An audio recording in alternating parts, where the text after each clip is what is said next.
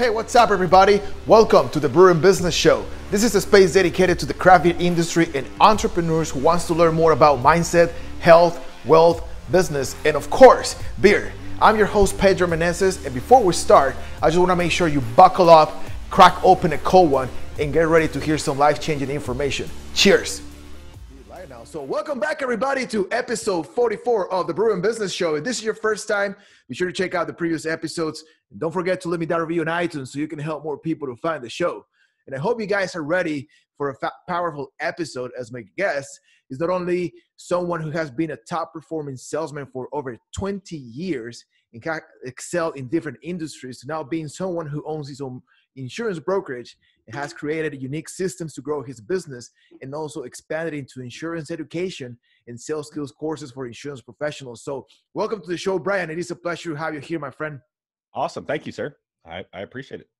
Yeah, of course, man. It's, my, it's, it's, it's a great honor, man. I'm, uh, I've seen how much you have grown for the past couple of years, and it's something that I really admire, man. You know, because it's it's mm-hmm. it's inspiring to see how, like, how your hard work start paying off, right? And a lot of people think like, oh yeah, I've been doing this for a couple of years, but man, you've been in business, you've been in sales for over 20 years, so yeah. it's been quite of a journey to be where you are right now and start seeing all these fruits of your hard work, man. So why yeah. don't take us a little bit back in time and, and, and, share a little bit about your story, man, so people can get to know you more. Sure. Yeah. Um, well, it all started Thanksgiving week, 1979. No. um, so let's see. Well, the last five years, I've been in the insurance industry full time. Um, I got into sales pretty much right after right after high school ish. I think I was about 20. Um, so my first job out of high school, I was a, an apprentice doing an apprentice shop, which is not that fun. uh, did that for a little while, but then I, I got into sales, and that was the first time it, that I, I really enjoyed moving at your own pace. Um, my father worked; he was an engineer at a factory. He did the family man gig. You know, he he always talked right. about get a good job with a good company and you know, benefits and all that stuff. So he was on that uh, hourly salary salary train because he was thinking from a pr- family perspective, you know, to protect the loved ones and have that stable thing. But um, he also probably every five to seven years he, he was either laid off or on strike uh, because he was a union job. So that idea of you know protected by the company never really sat with me. But um, at about 20 years old, I got into sales, and it was commission sales at a music instrument uh, music instrument company, um, which is no longer in business. It's called Mars Music. But that was the first time it was I can look and set my own goals and start to track my own performance and make write my own paycheck. And that was an incredible turn on for me. And that's when, even at a great, really young age, started learning to set goals, um, you know seeing the value of hard work truly pay off as opposed to you, you know you're in an hourly or a salary position you can work harder than the next guy that's great but doesn't necessarily mean you're going to get any more money and you start to see everybody kind of level off to what's considered standard you know unless right. you want the guy who wants to get promoted but everybody kind of it's like hey man why are you working so hard? We're going to level out to be mediocre. Right. So um but from there, I did uh, did that for a little while. Uh, that company ended up kind of going out of business, so I got into cars for a short bit, and then back to retail. I've always kind of loved retail, the the the the structure of retail because you have some operational pieces that, that, go with it, and then you also have the sales structure. And I've always gravitated toward the commission companies, uh, working in those or managing those. So I, I went through different uh, different retailers. Guitar Center was one of them. Best Buy was one of them. Uh, and Office Max was my last one. I added my insurance license in 2005. I left Best Buy and I was going to take a position. It was a uh, sales manager position with Guitar Center, but it didn't open yet. So I had this mm-hmm. length of time to wait to start. So I added my my insurance license and I hooked up with a company that specializes in the senior market. So I've been actually helping the senior market since 05 uh, part time until 2015 when I got recruited uh, out of an office in Fort Worth, and um, I went to work for them, and that was the first full time that I was able to be my own uh, entrepreneur, and I just fell in love with that. Yeah, I, I love yeah, I love the structure of retail, but you're always still answering to somebody. You, in some ways, in a lot of ways, it's like your own mini company, a store. So I, it, it's like an MBA course, but live. You know, real life MBA stuff. You learn all the you know, P and L and you know EBITDA and goal setting and all these different things you would learn going to college to get an MBA, but you're doing it in real time with real customers and real employees. So I love learning that, but I always bumped up against being told no when I wanted to do something, and that always bugged me. So when I got into the idea of insurance full time in 2015, I I did as much um, much as I could. That's awesome, man. I was not gonna not gonna let it down. Right. No, but you know, you mentioned something very important. You know, it's always for me it was the same. And when I got into entrepreneurship, it was an exciting step for me because mm-hmm. uh, for me, uh, my whole life, man, I never learned how to listen to anybody. You know, I always hated it. even even since I was a little kid, you know, I never understood. You know, because everybody at school, my teacher, my parents, everybody was like, "You need to listen to everybody else." I fuck off. I don't need to listen to nobody if I don't want to. you know. But I learned that later in life. But you mentioned something very important, man. When uh, when you when you were in your twenties, and then you start getting into the sales and all that stuff, uh-huh. and and I'm sure that uh, your dad kind of like like you were saying, your dad was like more into getting something more secure because he was a, family man, right? He yep. needed to take care of their family. But you know, man, when I remember when I was your I was 20 and I tried to get my first sales job, my dad really talked to me out of it. Like he okay. literally brought me yep. down, like really bad. Even I went to pitch him one of our products so he could help me. He told me, "Get yeah. the fuck out of here." You know, that's how supportive yeah. he was on my entrepreneurship journey. But I'm sure you you deal with some of that uh, opposition from yeah. your own family and it's something that a lot of entrepreneurs, especially right now, people that are in between that position of, of keeping their job or making the jump to entrepreneurship, how do you deal with that stuff in that moment when you were 20 years old and you had a, that opposition from your own family? Yeah, so um, my dad's advice was that, but I will say um, he was always very supportive of whatever I did, and uh, I get in. I came in and I, I and I was making money. So right. um, you, you can't argue with the success. Now, my dad passed away in 05, so he doesn't, you know, he's not seeing what what things are like now. But he was right. always very supportive of the idea of do it yourself, build your own thing. So he understood that about me. Uh, so anytime that I wanted to do something, he was there for advice. I remember when, so I at I was about 23 or 24. I was with a company and uh, they had a program to.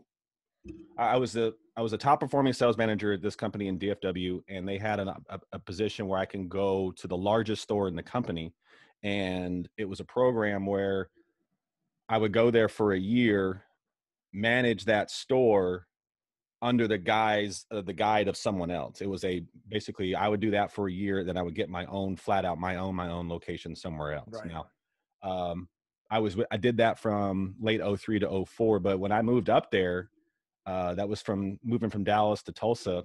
We talked every day, he and I, and partly because you know I was I was grown and gone, but he was also that support mechanism to, you know, tell you how your day went, and he would give me some advice uh, on different things. Never advice on uh, certain business pieces. There's always advice on people and people management, how to how to operate with people. But right. he was very supportive of that, even though it was a completely different avenue than what he took.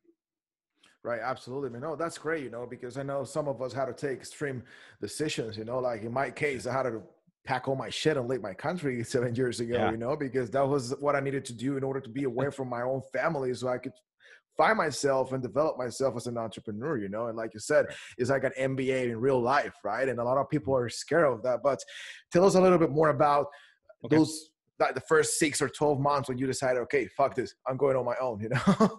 Yeah, well, I didn't have. Uh, it's not quite as drastic a change as what you're talking about. I mean, Dallas to Tulsa is not the same thing, but definitely within the same country. um, when I so when I got into cars, I really started getting into the self improvement stuff. I uh, Ziglar, uh, Stephen Covey. I remember. So my daughter was born in a 04, June of 04. So I actually, when I left to go to Tulsa and take that position, my, um, her mother was already pregnant. So we found out after I was already going. But right. uh, I, I remember tapes and CDs from Ziglar, Stephen Covey, and so I would drive on my days off from Tulsa da- back down to Dallas uh, to be with my daughter for a couple of days, and then go back up. And those trips back and forth, I was diving heavy into the self help stuff. Uh, Marcus Buckingham, if you've ever done the Strengths Finder series, that's a fantastic uh, group of books. And so I was diving really heavy into that, and that turned it on to okay, I'm going to take these skills and improve myself and take that to the team. So when I went to that uh, that spot, and this was a, a very large store. It was the physically largest store in in the organization. It had three departments in the same building, three stories. Wow. Um, we did a we did a lot of volume, and I was managing forty to fifty sales guys, commissioned sales guys. You know, sales dogs. I yeah.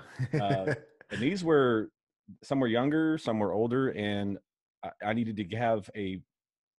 It, it was a an opportunity to learn how to manage and inspire and teach people of many different ages. I had guys in their 20s, I had guys in their 60s. Uh, I had a few women. It wasn't just guys. I say guys, but I had I had a few women, right. um, and it was amazing. In that it was not a long, long period of time I was there, but that was some of my my best times as as a sales leader and a store manager was was that group because we were commission people are there's a lot of competition. You know, as you yeah. know, you know, you got a leaderboard of 40 people. There's the top guys, and then there's the bottom guys, and then the guys in the middle. So you want to get the guys in the middle to sell more. You want right. to get the guys in the bottom to either bump up to adequate, what's adequate for them, or to go mm away. So, right. I mean, you you had to. It was a it was a you had to learn that individualization for people like what, what worked for one guy wasn't going to work for the other 39 people so that was a beautiful opportunity for me to learn how to inspire and manage those people and a lot of those skills i still use today with i have a small much smaller group now so right. my own office we started i mentioned in 2015 getting an insurance so my own office here came in march of last year but um, those same skills i was using when i had an old office about you know 15 to 20 guys there Wow. Skills, man. That's something that a lot of people don't like to talk about because, you know, to develop skills, it takes time and a lot of effort. But yep. you were mentioning how those, because you, you said you were listening to Zig Ziglar dri- driving from Tulsa to the DFW, right? So that's yep. like a five, six hours drive at least, right? Uh, yeah, it was about four hours. So, right. Just to give you an idea how long of a book uh, the Seven Habits of Highly Effective People is, it would take me driving to and from, and I would just barely finish it. Right. like, wow. Like eight or nine hours of of talking, and it's it's a long book. That's insane. But you know, the reason why I brought about the skills yeah. is because you know, man, in 2021, nobody wants to develop skills. Everybody wants to just find that secret uh, to mm-hmm. like unlock the millions of dollars and being successful and hire the cars and all that kind of bullshit, you know, which mm-hmm. is great. I'm not saying it's not bad, but uh, based on your experience and everything that you've been going through, man, like right mm-hmm. now you own your own business, uh, yep. you're growing uh, extremely fast and, and you're doing a great things in your life. How much you will contribute to your success today to all those skills you were developing 10, 15 years ago, man? Uh, I think it's, it, it, it was as important as a foundation is to a skyscraper. Right. I'm looking at my I'm at a fourth floor window. I'm looking out the window, looking at these buildings, and going, okay, these wouldn't they wouldn't stand if they had nothing to stand on. So um, that what I learned in in that early on and in my early 20s learning how to manage people and not only having sales success and then learn turning that into uh, the team success that's a foundation that I still use those pieces, even some of the same spreadsheets and some of the same sales materials uh, today. I was um, developing a insurance training course. We can talk about that a little, little later, but uh, some of the same stuff I went and put in there, I pulled back from those old documents that I've had for for years because it doesn't change. It right. doesn't change. Just uh, what's that saying? Uh, the the the, the, the knowledge is the same just like the method what really changes is not just yeah. the same foundational stuff that can be used across any industry you know and that's the reason why i like to bring people like you in this show because okay. yeah this is for entrepreneurs i have this as dedicated as a craft beer industry but man any, anybody listen to this can take anything of the things that you're sharing right now and implement it in their business you know like the same thing that i have implemented for craft beer industry for craft breweries and the same thing i'm implementing right now to generate leads in real estate and right. vice versa you know so mm-hmm. it is incredible what happens happen to you just stick to those found, found that foundation that is necessary to grow a business you know what i mean? Yeah absolutely. Um, i also got at that time um, john maxwell. One, right. of my, one of my favorite books is develop the leader within you. And if you if you look in a, through that list actually that book's that book spawned two other books. He has developed the leaders within you, that's personal development, and then you have developed the leaders around you and uses those same skills to grow other leaders. But he actually spun a book off from the first one called The Five Levels of Leadership because he talked about that in in the first book. And if you go through that pattern, that's when your team really starts to grow. So I dived into that and he had a workbook series to go with it. So the first leadership foundation is your position there's a certain amount of respect the position itself has to uh, uh, brings because you literally can fire them. Right. but if, if you stay there too long you're not developing any, anybody. The risk of firing somebody will only last I mean, a very short period of time. I wow. mean less probably 90 days or less with somebody. Um, the second part is you need to actually get to know them. So just because your position is one thing, then you actually need to get to know the, what things about them and that personal connection. Now we, you know, now we're getting to know each other and we're becoming, I wouldn't say friendly, but you know, you're, they know you care. Right. The old saying, people don't care how much you know until they know how much you care. Right. So by getting to know things about them, their family. So when they come in for the day, as opposed to going, here's your task list for today. Hey, Pedro, how's it going? How's Kayla? how's the family hey is your dad doing okay you know those things like that that becomes now you know you care about them. The next thing you do is if you have is the the team itself the performance of the group is level three. So if they see you knock it out of the park they see how well you do or even now your impact on the organization we are all growing yeah. now you've earned clout like it, it that provides validation for what okay if i listen to brian what he says, I can see that it works, and I can see it works on the other guys. Okay, I'm I'm going to do this too. It, it, gives you that validation for right. uh, for the leadership skills there. So, sorry, my phone's ringing. One sec. Let me mute this. Okay. So you have like um, a radar in there or something, man. yeah, I've got to mix my ringtones so I can know which one's which. That was my office VoIP, and my cell phone sounds different. Um, so uh, after that you have the actual development of the person. So if, if what you're doing and the skills that you if you could invest not only you got to know them and what you do it works for the team your systems whatever you're you're applying works for the team if you then take another point to develop them personally. So uh, one guy his name was buddy. He was kind of skating by you know maybe making a couple grand a month but he definitely had aspirations to do more so that was someone that kind of, you know, when he was one of the younger guys in the group, and it became okay. I'm gonna I'm gonna put time and develop this guy. You know, the guys that have been doing it for ten years and they're rocking and they're making six figures. That's cool, and they're doing their thing. You can kind of let them. You support those guys, but you know, you kind of let them do their thing. But right. Buddy needed help, so we we set some goals, and you set you set we had goals that we set, and then we we had markers okay when we gonna start doing this so every week every month and we started you know working together and giving him more personal one-on-one and his income is far higher range to go so if he goes from making 3000 a month to 5000 a month right you know he's gonna love you so that that connection the more people you can have in your group like that then you will just have people that will go to ba- absolute battle for you and then the what? fifth yeah the fifth leadership level level is like it's called personhood that's like Martin Luther King, Jesus, Mother Teresa type level where you're, or maybe Ziglar, where right. your you as a person is inspiring for the group. So right, which is a higher level of of, of leadership, I guess. Mm-hmm. Yeah, the ideally within a, a business organization, you should be hitting levels three and four.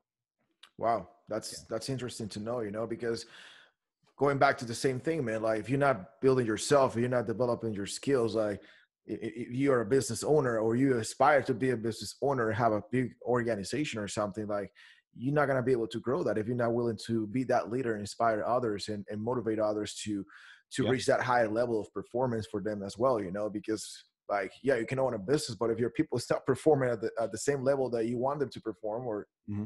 your level like there's is like andy frisella you know like he was talking the other day about uh, somebody was talking about how neat is the, the, the gym that they have in the headquarters. Mm. You know, like Yeah. every single time that there's somebody that using the dumbbells, for example, if they don't put them back in the way that they found it, he never invites them again. You know, because it's just uh, attention that attention to the details that every single one of these employees follows, and Mhm. that's why they have such a great company. You know what I mean? Yeah, I can see that. Yeah, I can definitely see that.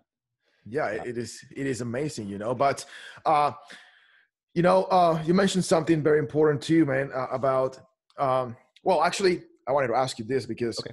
uh, i know a lot of people and i and i see you man and i know that you're someone who is very very uh you put your family first too you know like everything you like I, it's hard to see people especially in the entrepreneurship world that they Mhm. can find that balance but Okay. uh, when I see you, man, I love how you have that balance between you and your family. And we talk about this a lot, you know, like balance is bullshit, it's an illusion.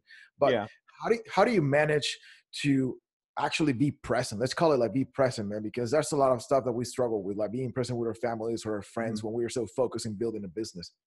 So I I actually saw this really detailed the other day. Uh, Jessica Dennehy, you know who she is from the Apex Group. Yeah. She she posted a it was either yesterday or day before, and I think it was an Instagram story. But she talked about you obviously your number one priority is is your your close ones, your your your family, your blood, your your family that you have you know put together. Those those people that you live and die with, regardless of where you're going to be. Um, you know, those people are going to be with you. Right. but I say I shouldn't say but, but what I what I mean is at any given time though, what's what's the first priority right here and now? Like if if it's if it's game time, if it's nine to six or eight to eight or whatever time that you you're going to operate your business, if I spent three hours in the middle of my day instead of talking to clients, instead of building a business, instead of doing the particulars I had to put my hands on, and I spent the whole time on the phone with my wife or spouse, girlfriend, whatever you want to, ha- you know, whatever you have, um, I would be missing what I should be doing. And then what happens is that work still has to get done. So if I go home and it's seven, eight o'clock where I'm supposed to be watching a movie or having dinner with my family, I've got to do the work. So I've missed. I, I've got my balls in the, you know, I got my my ball in the wrong court here. So it's a matter of focus on what needs to be done right here and now. So this week, I've actually I'm actually really tired um, because I've been putting a lot of hours into finishing up a digital course where I have to make videos, and I'm sure you you do these videos. Those are Sometimes fun, you man. don't- yeah, it's sometimes and this is a pre-recorded deal, so I've got to make sure it's right. So I'm making the video, redoing stuff, editing, all that kind of stuff, and I've gone every day for a week uh, up till midnight. But what I did though was I didn't want to alienate uh, my family. So the times I had to be doing the video, I just had my son with me. Right. So he can come. To, he he comes to the office with me every Friday. His school doesn't have. He's not in school on Fridays. His school doesn't. He only does Monday through Thursday at his school. So he comes to the office with me on Fridays. So even over the weekend, as I'm doing these these videos, he was with me. So Wow. and then I can take a break. We can hang. We can talk. We can have lunch together. Uh, I still had dinner with the family because I can edit the video and not make the video while I'm still there. So you can kind of mix that process up. Uh, You know, Ziglar talked about that. Is you can kind of mix mix some of that together. I can do something minor or something small while I'm still around the family. Um, another thing that I do is I try to involve them if I can as much as possible. So um, I'm taking my son, who's eight, Mason is his name. I'm taking him to the Apex Live event on Oh wow. yeah, I asked Ruby. I don't know why I thought of it, but I, I texted Ruby. I'm like, "Hey, do you think it'd be okay if I brought Mason?" And he got it cleared with um, with Ryan and Amy. They're like, "Well, yeah, if you don't care about the language, he can come." But then, so uh, he he listens to the Rewire podcast. He listens to Crushing the Day, and we do that in the morning in our short drive to his school. And so he knows these people. He he enjoys them. So that's a cool a cool thing for him. I Actually, That's emailed awesome, his. Yeah, I emailed his school saying that I, I would be taking him out of school that day, and I said you should actually consider this a field trip because this is going to be a learning experience.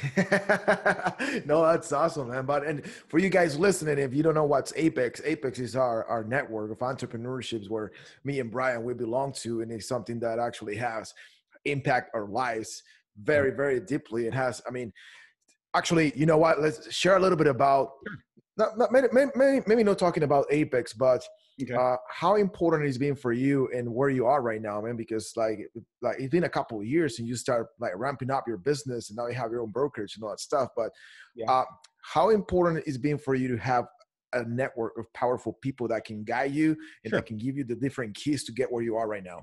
Yeah, what I enjoy about uh, enjoy about that is uh, the mix the mix of people that you talk to. So um, I have always been a top performer in the organizations, and I've always been close with the leaders in each organization. But you're uh, you're just in that group. It's just that small sphere, so it can get a little incestuous in terms of you're talking the same language, you're speaking the same language, but you don't have a lot of outside perspective. So um, I always lamented not doing the Born to Win when Zig was alive and in Texas. So he passed away, I think, in 08 and I never did that, even though I, I've always saw the stuff. So when I got a chance to do Apex and to start getting more involved in the different levels, I, I really wanted to take it because I, I, think that the a lot of the skills and things can kind of come from that umbrella, you know. Because yeah. I know uh, Ryan Stewman was in Zig's program, um, Keith Craft, who's an influencer on on Stewman, so that, that kind of cascades down. So to me, I'm like, okay, I'm going to really involve myself as much as possible. But the network, what I really enjoy is to get close to and get opinions from people who aren't in insurance. You know, wow. so uh, you and I have set, you know, have been around each other several times, and you're in real estate. You do, you have the brewery stuff. Um, I have two. So I'm on the, the executive level with a coach. Now, my coach Jessica is actually in insurance. However, However, she brings a lot of outside and different approach to it. Um, I'm also in a group with uh, Chris Whitehead and Lonnie Robinson, and they're not insurance. One's a digital marketer. Chris is in the construction and uh, remodeling industry. So it brings a different perspective to that. Like, hey, you know, I know we're not in the same industry, but have you thought about this? Because business skills are going to be business skills. Yeah. Sales skills translate all industries, and the business skills are very, very similar too. You might have some okay, my industry, I've got to do this, where you don't have to do that. Some compliance stuff like you're in real estate, I'm in insurance. We have licensing requirements. You know, many other industries don't have that, but getting that outside perspective is the, has been the number one thing for me, and the support for people that are just cheering you on. Yeah, that's very powerful, you know. But for you guys, listen, what what Brian is saying right now is key, you know, because you say something very important. When you were like in these small groups where you were like always a top performer, yeah, you were surrounded by other leaders, but it was limited, you know. You couldn't yeah. You couldn't see beyond other opportunities and different perspective. But when you started surrounding yourself with people from different industries, is when mm-hmm. everything started changing for you, you know. And I, and I think a lot of people is afraid to get into a network. It's afraid of like, oh, I don't want to talk with this guy because they're not in my industry, but guys like you can learn literally from everybody you know like like like like uh brian was saying our group there's uh, business owners and entrepreneurs from all different industries. And every time that we gather gather together, every time we are in a in a meetup, every time that mm-hmm. we're talking business, life, family, even fate, whatever you want to talk about, like there's something new that you learn and you're like, okay, I didn't understand that before. Or, or wow, mm-hmm. I, this is a good idea. I can implement it in this part of my business, or I can implement this uh, idea on my marketing plans. There's so many things that you can do where you surround yourself with. Um, with the right people. So I think that's very important. And for me, like you said, developing the skills and being surrounded with the right people are two of the main things that uh, I'm at least working more in 2021, you know? Yeah. And you get, uh, you know, in any group, you, you kind of start gravitating to people that, oh, you know, you kind of more identify with, you know? So, um, a group within a group, you've got those different things that come about. So I'm sure there's guys in the group that you were a little closer to than some of the others, but you still talk to a lot of people. Um, yeah so I, have got a handful of guys like that that we call each other the goons, and uh, but we just we share ideas. You know, we share ideas. Right. Uh, we, we tease each other. So one of the things that I set a goal. I'm actually my text is going off right now, so I'm gonna say this. The I set a goal to read more than I've ever read in a year, and I've always been a solid reader. So I wanted to read a book every other week was my was the wow. pace. That would be the most that I've read. 26 books in a year. So I got my stack. It's on the corner here. Got my list and started reading and my who i'm partnering with or kind of the te- accountability with is mike claudio right uh, he's a hellacious reader because he's talking about reading a book a week which i've heard wow. people doing that i know um, a couple other guys in in the group probably read that much a book a week but um anyway so we we you know teasing back and you know back and forth keeping each other on pace So yeah. I texted him today. I said, hey, I'm a little off pace because I've been doing this training so much, it got me behind, but I'm gonna make it up with because I got some shorter books and some books that are, you know, more more text and bigger margins. So I'll make it up on some of those other ones. And he said, he said, okay, you know, cool. You were teasing teasing back and forth. He's already read eight books for the year, and we're just four wow. weeks into it. Yeah. I told him Dr. Seuss doesn't count. That's crazy, man. Count. I mean, I, I, I, one day I would love to read that fast, you know, but for me, it's a little bit extra. It's not yeah. not that I will not make it. I will make it one yeah. day. It's just I have a, a little extra uh, challenges because obviously yeah. English is not my first language, but I don't read in okay. Spanish. You know, I read in English because it helps me develop my my, yeah absolutely yeah my speaking you know and and and, and it, it is great. You know, like when I see my when I hear myself doing videos from a year ago, two years ago, it's like wow. A lot of people is like, dude, you don't sound like English yeah. is your second language. Sometimes, you know, it's like wow, that's amazing. But that's incredible. Eight weeks and we just been a month into the year. That's crazy. Yeah, doing, yeah two books a week. He, he said a lot of them are short. I said, yeah, Dr. Seuss is really short. yeah, that's crazy. But anyway, man, let's let's switch okay. gears a little bit and let's okay. talk about uh, your brokerage, man, because that's been a great journey for you for the past couple of years, right? So tell us about how you started and how how what that's transition for you, man. That, I'm sure that can help inspire somebody who's trying to level up right now, man. Okay, so I um, lighting's better on the other camera. I was getting some lighting mess up here. Um, so I got full time in in November of 2015 to go to um, to insurance. Health insurance is pri- my primary market. Uh, individual under 65, small company, Medicare. I also do life insurance. I'm, I'm licensed nationally. I do for the whole country. That's awesome. Um, oh, thank you. Yeah, the the what got me in there was um, I'd been with Office Max, and I was I was at the largest store uh, for them in Dallas Fort Worth area, and we had gone through a changeover. They went through a merger. They merged with Office Depot. Right. It was all this. I mean, it was like it's like two different languages being spoken, and the, wow. the systems didn't match at all. And there's all kinds of problems. And so I was, you know, going through. Hey, this is a problem. This is a problem. We're trying to, you know, manage through it. And then one day I pull up to the office. I was going to work a uh, a nighttime. They'd already been pulling. I mean, they'd already been pulling payroll out of stores and things were out of whack. I was the, yeah, I was this, the largest volume office max in the in my area, and I had the second lowest in payroll. I was like, it makes sense. Right. Anyway, after all these weeks of arguing and different changeover stuff, anyway, I, am going up to I pull up to the office, and um, just ahead of me were uh, two district managers and two store managers of, of nearby stores that were in the Office Depot stores. So I was like, this ain't good. So we go in and we started kind of diving into these system issues and things we were kind of working through. And one of the guys looked at me in my office, in my chair. He's sitting in my chair looking at me and says, Brian, you should be at your store 6 a.m. to 10 p.m. every day. Now, huh. I was already driving from Arlington to Dallas, driving 45 minutes one way, leaving before my family got up, coming home after they went to bed. And when he said that, I just kind of it was just stunned. And yeah. um, they, you know, they went and hung out a little more. And I called my father-in-law, and I'd already been recruited by an insurance company. I said, "Hey, I think I'm gonna, I, I should switch to this insurance one." And I, we talked about it, talked why. He's like, "Yeah, if you want to do it, you should. Uh, I'll support you if you need help, whatever." So I just, it, it was a break, and that was I felt the weight just fall off my shoulders. And when I got to doing insurance full time, now I was still in in a brokerage, so there's a lit, it's still a framework. Yeah. So it's like you're being self-employed with help. So it's I wouldn't say entrepreneur, but maybe I guess is the best word for it because you still have to answer to a couple of couple of guys. But anyway, I was not going to let it. It's like okay, if I'm gonna do this, I'm gonna do it flat out. I'm just go yeah. go after it. So that was in the fall of 2015 uh, I started on my birthday, actually, November 23rd, 2015. And I still wrote a million dollars in policy premium just in to end their open enrollment cycle, just the 1st mm-hmm. my first six weeks.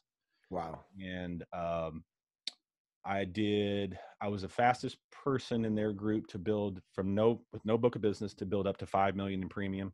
I did 6 million in my first four years. That's amazing, man. Yeah. So um, some people ask me, is that a lot? I said, well, my average premium per per policy is five thousand bucks. So right. it was about twelve hundred policies I wrote in the first four years. Wow. Um, yeah, just because I was not going to, I wasn't going to to to let it down. I was going to go in and do it do it right away. And at the end of the first my first at the end of my first year, I remember telling my father-in-law, I said, I'm gonna make six figures. And he didn't really believe it. Um, and to, yeah, to go, to go well beyond that is right. Yeah. You know, make shit happen. yeah. Well, he was shocked to, he was shocked to realize it would pay that much because they, right. they, in, in their family, their side of the family, they're very heavy on getting that college degree. And I never went to college. My dad didn't force it. He had his engineering degree and so did his two brothers but it wasn't like they, my my my family put any pressure on what you do or have to do. It was about the person, you know, make sure you're happy, your family happy. Can you do what you want to do? Then go, yeah, yeah. go do anything that won't hurt anybody. Do anything that's not illegal.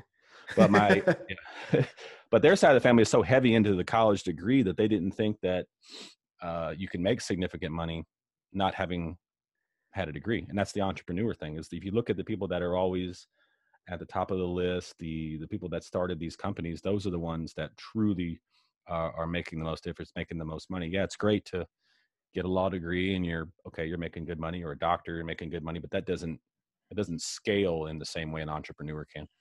Yeah, that's kind of like the secure path, I believe, you know. And and uh, I was talking on our last meetup last week. Uh, I actually mentioned that because there's there were some people asking like, how how do you go from uh, like how do you really put yourself against the wall you know and like just just just get into the grind and, and just move that transition you know just like leave everything that you don't want to do anymore so you can focus on your business you know and, it, mm-hmm. and there was different opinions all very great great opinions but you know man I, I, I like to say things straight and, and i stand up and i was like you know what here's the thing man if you don't feel like like like you cannot just wait for that right moment to start doing stuff you cannot just mm-hmm. wait till the stars align for you so you can make yep. a decision or like god gives you a sign i mean mm-hmm. the fact that you're already thinking that should be your sign to move and start doing something for yourself sure. if you want to yeah. do something on your own you know yep. and then if you don't feel like doing it why in the like put yourself against the wall you know like I wouldn't be where I am today if I wouldn't put myself against the wall. You know, for me, my wall was pack your shit and leave. You know, for me, my sure. wall was like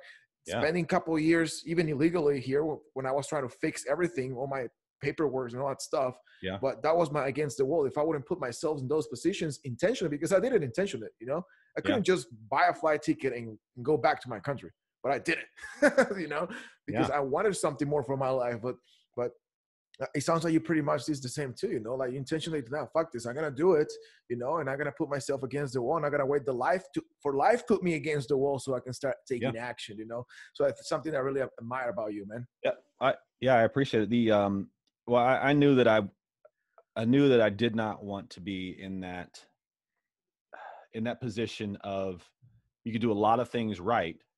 Uh, it, it's such an odd game in the corporate world. You you could do a lot of things right. You can have they give you a list of 10 things and they're like, kill it, kill it, kill it, kill it, home run, all this stuff is cranking, and they'll go to the one thing that's not awesome or the one thing that you're not doing well. So, yeah. so you know, we were we were doing um, fantastic in sales. I had a great turnover record, had a great high profitability. I always managed really strong to a P&L. That's what I kind of learned from coming up. The people that mentored me in the retail space was really diving into P&L, and they would come in and go, "Oh, well, this is, doesn't you know, this planogram is not right. I'm like, gives a shit about planograms. Right. Customers buying stuff, that's what matters. But yeah, that, that's the corporate world for you. So when I, when I got out of the corporate world and go and like, okay, I don't, I don't have any, you know, I don't have that yoke on my shoulders right now. Right. So uh, I just went to the guys who are the top performers and they said, okay, Brian, this is how you do it. Obviously, you know how to sell. You've been doing sales. So this is how we sell here. Okay if that worked for you and you've been number one then let me do it too and then you find your flavor you find what you know your your vernacular your way that your approach is and well if it worked for him it can work for me so right. same same thing and then i took those so i did that for two years with them um being just the, the uh, you know salesperson and they re- and they saw that okay you you've managed a team before let's give you an opportunity to manage a group here so uh, i did that as well so I I built up a team, and I don't want to use the clubhouse six figure whatever. Right. uh, it was it was you know my sales guys on my group we sold over 10 million in premiums it was an eight figure unit right. what are you gonna say anyway um but it was cool to take that, still make my good money from my own policy, and then just teach those guys same thing. Because right. I had been teaching, you know, I had done that in the retail framework, but like you kind of you kind of operate in a in a channel in the retail world. You don't you don't have that. There's a safety net, you know. Right.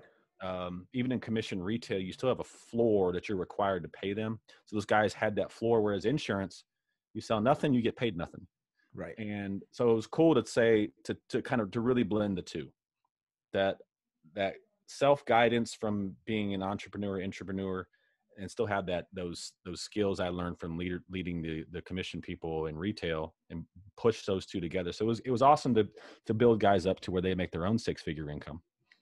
That's awesome, man. Yeah, I think that's sure that's rewarding, man. You know, that's one of our goals too right now. Like once with the real estate part, we're trying to partner with other real estate agents and mm-hmm. and give them all the tools. You know, like I'm building the systems, I'm building the funnels, the chatbots, like yeah. the follow up sequences. It's taking me a couple weeks, but I'm building all that. So when we start recruiting uh, real estate agents, you know, like yeah. hey, here's everything you need. This is the scripts that you can use. These are the ads that are being converting.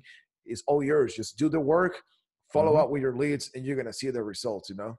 Yeah I, I that's been my that's been so in the last 11 months since getting into apex that's been my next transition is I, I did leave that office because every time i added someone i added cost. And the reoccurring that cost was a big lag in the way they had it set up so I'm like, okay, I'm adding all these additional costs. Yes, my team is getting better, but the more guys I add, the less I personally sell. So a lot of things was just averaging out to be the same. So right. I did the math. I said it would make more sense. Plus, I was driving from Arlington to North Fort Worth. So oh, wow. once again, my these big long drives. Yeah. Like, why can't I just work in Arlington? Well, I can work in Arlington by having my own spot. So right, uh, we found an office here. Um, I partnered with my buddy, and we were able to add training to the groups. Now we have a training platform, and we're taking that into further, uh, even further along. We, we we started for licensing training. So I go, okay, I give up a team. I'm, I'm gonna replace that that loss of revenue with during this piece. So now I'm just okay. Let's add this, this, that, that will keep that together, and then uh, start to scale, scale those those that piece up as well. But I learned that that came from learning the Apex stuff because right. the old office was call, call, call, call, call, call, call. They weren't generating a lot of traffic from the newer type stuff, you know, whether it's funnels or organic organic marketing, social media marketing. They were doing the old hat stuff, you know, right. BNI events and phone calls and in-person meetings. Whereas, um, you know, you can generate a lot of that traffic through the other channels, and it's far more efficient. Absolutely. Which, you know, in this modern world is everything about innovation, you know, and that's mm-hmm. your industry, man. It's not an easy industry. There's a lot of competition, there's a lot of stuff going yeah. on. But the fact yeah. that you've been doing all this, you start your own brokerage, now you're having all this training, now you're mm-hmm. doing all this video to help other insurance sales agents to grow their business too and all that stuff. It's only proof yeah. that I mean, if you are you have that innovation in your mind and you have the skills and you don't make the excuses, you can just change the entire face of an industry. And hopefully that's what you're going to accomplish at some point, you know? Well, um, I haven't seen so the uh, the insurance industry is still fairly old style. Like, yeah. uh, as is a friend of mine who I was working with on the Medicare stuff before I went full time into insurance, and he's been doing it for maybe a, over a decade, maybe 10, 12 years. Done very well. You know, he's making between 80 and a 100,000 a year, doing solid for himself, but he does in person meetings. Right and it's not just the one hour or 45 minutes you're with someone you got to get there and you got to go to the next appointment so realistically each appointment is between is, is two hours maybe three hours if you consider all that stuff so he can touch three to five people a day where i can touch a person an hour on the phone wow. call uh, so I didn't have to. I, so that's one great lesson I learned from them because they were very. They all worked over the phone. I can sell nationally.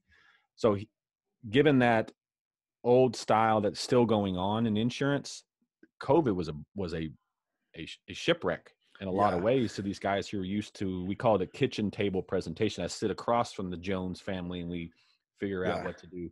So by putting those skills in Apex early, and then when COVID hit, none of that changed. Yeah. And I didn't have to, you know, go rethink how I did stuff. I actually counseled my friend who had been used to that kitchen table presentation on how to do it over the phone. So we had Right. several calls where I was walking him through how to properly do that. So uh, that's a bit of forward thinking, and that's where the you know this day and age is now is developing those platforms to make it to make it much easier for customers to work with you. I know, and I and I have seen the funnel that you created to make even provide a better service to to your clients. Man, that's amazing because you have everything in one place for them just to be easy to show their insurance card and like Yeah, that's that, amazing. Um, yeah, the uh, yeah, I got phone sites, and I was thinking of how um, internet leads are made. I mean, I'm sure you guys get internet leads you can buy in the in the real estate space too. Guys who are people that are shopping on the internet. yeah, Yeah. So typically those internet leads are they're top funnel, meaning it's name and email, and you've got to contact them to move them along the process. Uh, what I wanted to do was the reason people are shop online is they want to see a price. They want the information. They want to see the price. That's why. That's why. I think that's why Zillow was kind of a train, a bit of a wreck to the the, the real estate industry, is Yeah. because they showed everything, right? yeah, that was, a you know, kind of fairly new. So I want to do something similar in insurance to where why we have to hide all this stuff? Why do we have to make the customer call us? They're uh, if they're online at ten o'clock or midnight, they're obviously outside normal hours. Why would I force them to make a phone call happen between nine and five Monday through Friday when they're online at night or on the weekends? So why not match that? So I, I wanted to put as much information as I could uh, but it, you can't just, unfortunately, in the health insurance world, you can't just go, here's health insurance prices because it might not fit for that person. So I developed a, a very short questionnaire that puts them into the right plan. So when I get a name and phone number, I know what plan they've already basically picked for themselves or what have been recommended. So wow, I'm getting less people than a top funnel would be. But when I talk to those people, I, I'm, I'm enrolling every other one or, or two out of three because they've already seen what they I'm the only person that showed them a price and I'm recommending something that fits for them.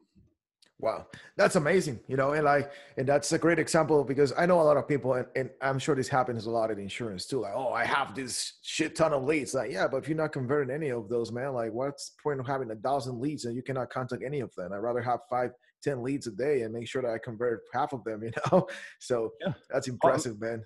All it takes is one uh, in, in what I do and the, the, the if I and life insurance be the same way. I'm sorry. If if if you got one sale a day, you'd be doing very very well. And, I, and I'm used to that kind of traffic in a different way. I'm like, okay, well, if I'm gonna do my own thing, let's do a low cost, and I'm gonna chase these people down. You know, Yeah, another problem. absolutely.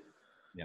Go, go ahead. Go ahead. Just, that's What? another problem with the with that top funnel lead is okay they go to abcinsurance.com whatever and they're looking for a price they put the name and phone number and doesn't give them a price. So they're just going to go to the next website and then every time they go to a new website they're generating a lead that someone has bought and then it gets rebought so they're getting inundated with calls and as i call them i'm just one other phone call. So rather than try to chase the people down be the only one to actually give them a price and my funnel once it shows them a price they can even enroll. So i've had several people just do the whole thing. And i just call them in the back and say hey mr jones you enrolled. I'm brian. You know i'll help you out from here on out. But I'm sure the I'm sure Yeah. the first lead you got like that were like, oh, so what do I do now? Like who is this guy? Yeah like to- to get an application i'm like what? Who is i didn't talk to him because he yeah they went through the entire thing. And then i go back and see the the phone site lead and go oh well yeah. But they were shopping on the nights or on the weekends. So That's amazing. Yeah. You know, I mean, because Amazon Sorry. will do it. Best Buy will do it. You can see a price on on anything that's transactional. Why Yeah. not in the service space? yeah, that's a great that's that's a great idea, man. You know, you're right. A lot of people try to do it all the time, like, oh, I'm trying to be exclusive. Like, no, man, people is ready, to, especially like you said, online, man. People is with credit card in hand, ready to spend some money. So why are gonna make that process complicated for them? So that's that's incredible. It's something that you can apply everywhere, man. That's something. Give me some ideas right now. So thank you for we're- that. Yeah, we're working on it with. Um, I'm I'm working with some Apex buddies. We're we're um we're trying to do something similar for life insurance. Term life insurance is is very simple to understand.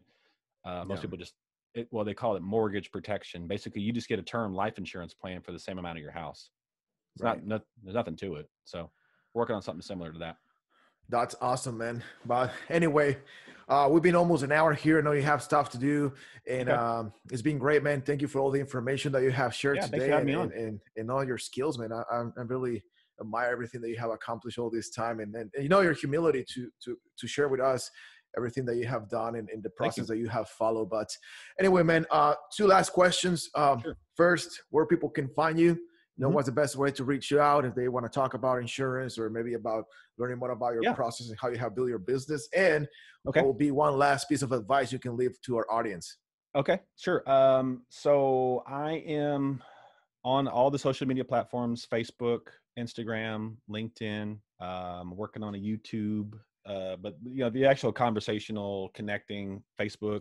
Uh, my, my personal page is public, so, and LinkedIn and Instagram. So that's there. My website is insuranceoftexas.net and my email is brian at insuranceoftexas.net but my insuranceoftexas.net website has all the different plans that i that i um, have available you can get a health quote right through there life insurance information uh, actually term life insurance you can get through the website and final expense you can get to the website as well so nice. that's that's there if you got any insurance questions i do also do home auto and commercial for texas I mean everything else okay. is nationwide um, advice wise I, I think the biggest impact for me over the last year is just starting the action when it comes through. Like me, me people like I'm gonna get information, get information, get information, and they go in that they're in that information gathering mode, and they never take that information and do something with it.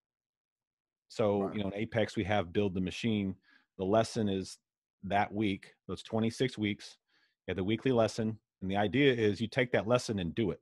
So that's yeah uh, all I've done over the last you know year or so is lesson comes in how can i apply that and start trying? And if you can try it if you end up going in the wrong direction that's fine. You can get advice from someone and get that corrected if you've done it wrong. But taking action is much better than not taking action at all. If you just continue to take it in take it in take it in and not do anything with it that's it's worthless yeah, that's I think that's a very important advice, especially right now that we're just starting the year, man, and a lot of people is trying to learn all this stuff. But mm-hmm. like you said, if you not implement, I mean, there's no way you're gonna see any results. And I would like to add consistency, you know, because it's just not gonna happen just overnight. Just because you learn something today, you're gonna implement it tomorrow. It's not gonna happen right away. So you just have to stay consistent, you know. But yeah, yeah.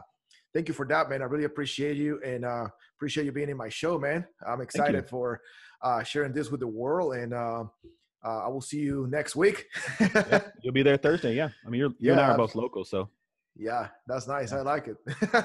but anyway, for you guys listening, if you enjoy the show, make sure you share it with somebody, put it on social media, send it an email, tag me, or whatever you can do to help us spread the word. And also make sure you leave us a review on iTunes or subscribe to the YouTube channel so more people can find the show and get access to all this valuable information. I will see you guys for the next episode. In the meantime, be safe, keep working hard, and cheers. Later, guys. Later, brother.